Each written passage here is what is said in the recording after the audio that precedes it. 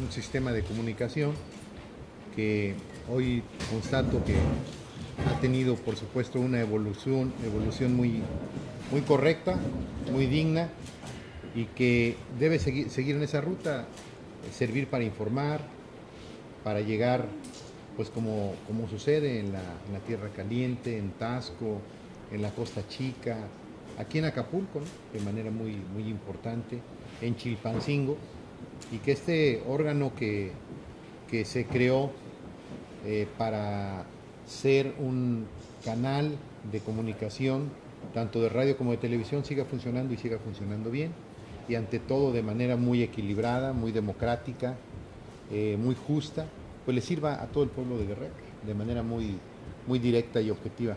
Aquí vengo y vengo a saludar a todo el personal y a reconocerle a Bismarck también su trabajo. ¿eh? Muy reconocido. Gracias. Gracias.